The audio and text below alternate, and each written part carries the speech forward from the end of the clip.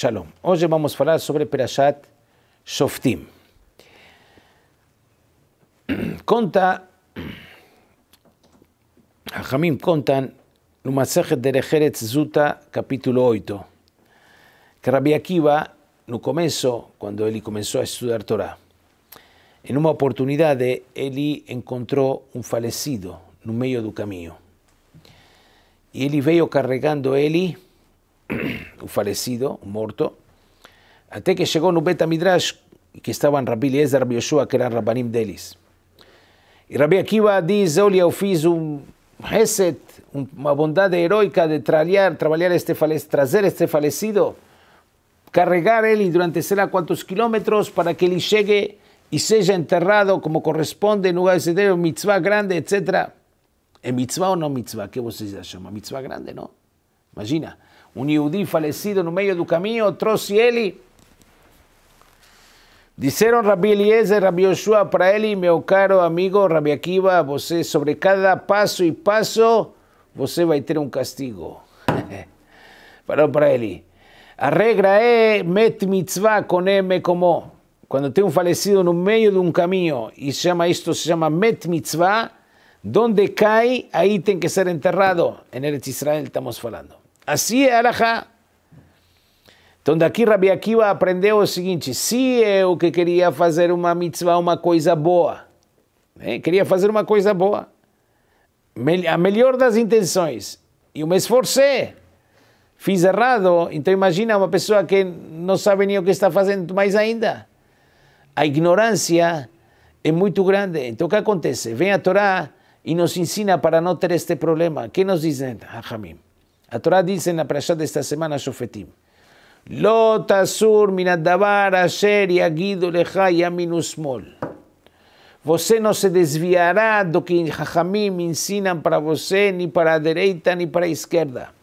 E já é sabido e conhecido o que explica Rashi e traz o nome de Jajamim, mesmo quando você está a priori entendendo que eles estão errados, é, mesmo que te falem sobre o que você entende que é direita, que é esquerda, e o que você entende que é esquerda, eles te falam que é direita, você tem que fazer conforme o Rahamim manda. Assim, aqui traz a Prashá, Lotasur, Miradavar, Asher Yagidu Lecha, Yamin Usmol. E sobre esta mitzvah, explica o livro Hinuch, explica e diz que justamente esta mitzvah tem como intuito para manter uma Torá só, não que cada um faça o que bem entende nos seus olhos, por se cada um vai fazer o que bem entende, por mais intenções boas e boas intenções que a pessoa tem, então a pessoa acaba se desviando desta de, do caminho certo. Então a Torá vira várias Torot, a Torá é uma só, por isso que Hajamim tem esse poder e essa ensinança. O Hazonish, na sua, tem uma famosa carta do Hazonish, que ele diz que eu não entendo, diz o Hazonish, que em relação, quando a pessoa tem uma questão alárgica, ele vai correndo para o Rav e pergunta, eh, caiu leite, se me misturou, peguei uma panela, ou minha esposa precisa fazer mikve, ou coisas de proibições, e sempre vai saindo correndo. Quando se trata de questões do dia a dia, da vida da pessoa, as pessoas acham que eles entendem e vão perguntar.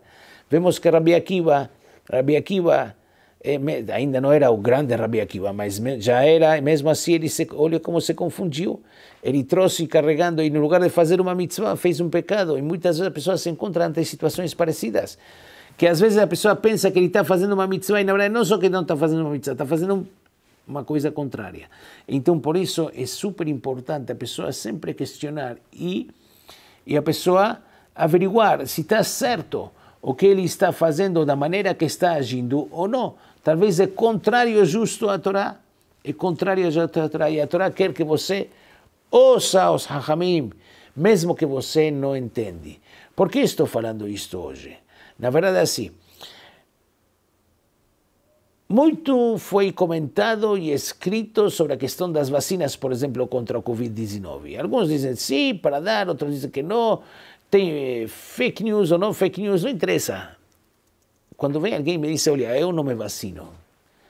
Porque, não sei, eu não sei em quem acreditar. Você pode acreditar em alguém? Não podia acreditar em ninguém, todos os interesses políticos, comerciais, etc. Mas falo para ele, olha, tem grandes de Israel.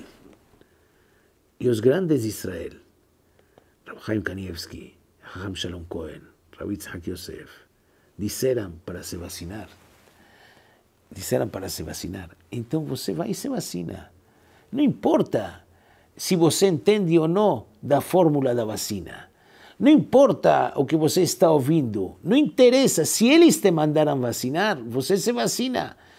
Se eles diriam que não se vacine, mesmo que venha o melhor médico, o melhor cientista, o melhor laboratório te diz vacine-se, você não se vacina. Mas se eles falaram que sim, tem que se vacinar. Então você tem que sair correndo e se tem a oportunidade de ir e vacinar-se. E se você não está fazendo isso, você provoca, Hans Shalom está indo contra os Hachamim. Apenas por isso a pessoa pode ser prejudicada.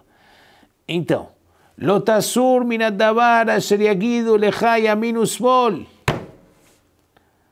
E se os Hachamim falaram que é assim, e cada vez, em cada, assim, cada geração tem seu problema e seu psak dos Hachamim, e para isso estão os Hachamim. Ah, você me diz, mas tem um Rav lá no fundo. Sim, talvez tenha algum Rav que outro que falou que não, ou que por enquanto não, etc. Mas os, aqueles Hachamim, que quando você, se teria um problema, de, lo além um doente, se iria pedir brachá de quem? Deste Hacham. E este Hacham que falou para você se vacinar, não? Então por que você não vai e se vacina?